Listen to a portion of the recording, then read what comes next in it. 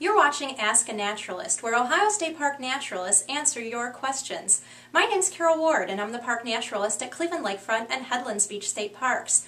Today's question comes from Donnie Klein from our Facebook page. He asks, How thick does the ice need to be for it to be safe for me to drive my truck on it? Well, Donnie, that depends how heavy your truck is. Ice needs to be 10 to 12 inches thick to support a light truck, even thicker for a heavy-duty vehicle. Ice tables recommend 8 inches of thickness for a car and 5 inches for a snowmobile.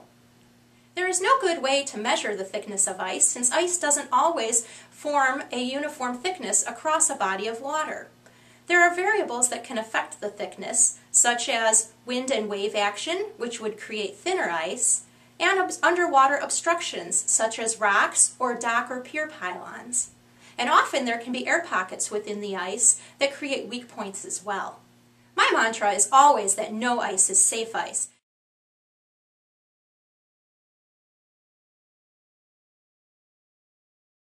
However, we know there are some great recreational activities that take us out on the ice, like ice fishing. So if you're planning to engage in an activity like this, it's really important to remember your safety gear.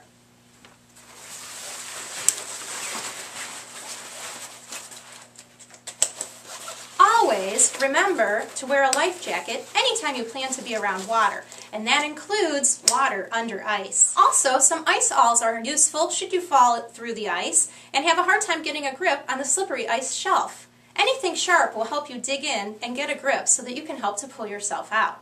So remember, no ice is safe ice. If you're planning an activity out on the ice, remember your safety gear. Thanks for the question. What do you want to know? Ask your question in the comment box below or on our Facebook page. If you're located in Cuyahoga or Lake counties and are interested in learning more about ice safety, contact me about scheduling a program for your school, scout, church, or community group.